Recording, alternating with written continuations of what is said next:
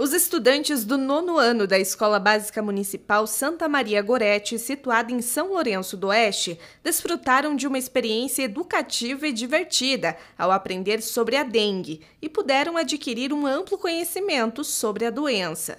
Para garantir que não haja focos do mosquito, basta verificar o quintal de casa uma vez por mês apenas? Verdadeiro ou falso já? Às vezes a gente ganha vários folhetos, mas a gente não dá muita importância. As pessoas no geral não dão muita importância.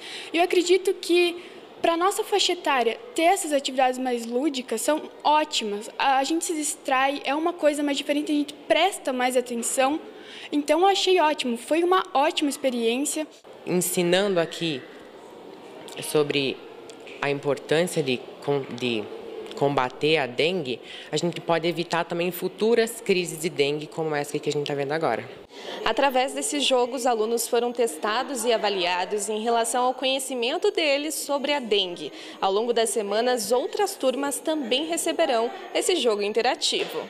O método de aprendizagem ocorre da seguinte maneira: inicialmente, os alunos são instruídos com dados e informações sobre a dengue. Em seguida, um professor inicia uma série de perguntas sobre a doença.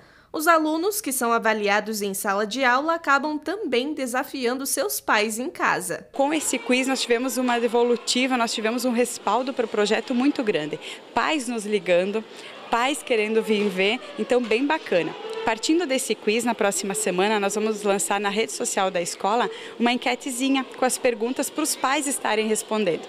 Porque os filhos já responderam aqui e viram que não sabem tanto quanto eles achavam que sabiam sobre a dengue.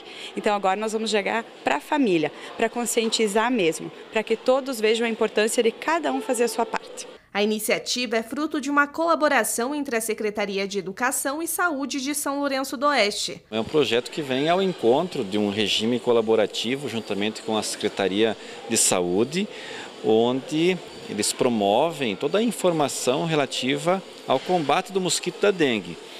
E para a rede municipal de educação, é, se transforma como parceria de estar divulgando e mais que isso, vindo dentro da escola com a equipe da saúde, com a nossa equipe das, das unidades escolares, para fazer aqui na Escola Santa Maria Goretti, o que chamou a atenção, um quiz sobre todas as informações tangíveis a como combater o mosquito, qual que é o prazo de vida do mosquito, enfim, todas as informações alusivas, que serve como uma informação para, obviamente, aplicá-las em casa, para que os alunos possam levar as suas famílias e aí sim agir no combate à dengue. Uma pessoa só ela não consegue é, fazer acontecer.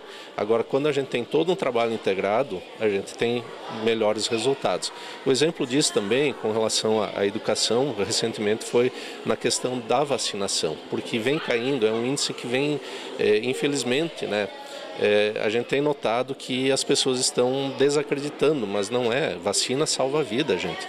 E a escola também tem tido um, um papel fundamental e nós também compete a nós, compete à Secretaria de Educação, é, cumprir o que está prescrito na lei. Segundo Felipe Martins, diretor da Vigilância Sanitária de São Lourenço do Oeste, a cidade encontra-se em estado de alto risco para a propagação da dengue. Nós temos 34 casos notificados, oito confirmados e cinco que acabaram sendo hospitalizados. Desses cinco, seriam duas crianças e dois adultos, um já recebeu alta.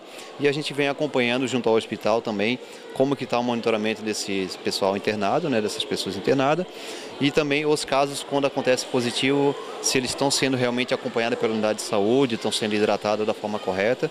Então a gente vem fazendo esse manejo, esse acompanhamento para a gente dar uma melhor condição de saúde para os casos confirmados em São Lourenço. Diante desse cenário, emerge a educação como a chave que desvenda os caminhos para afastar a doença.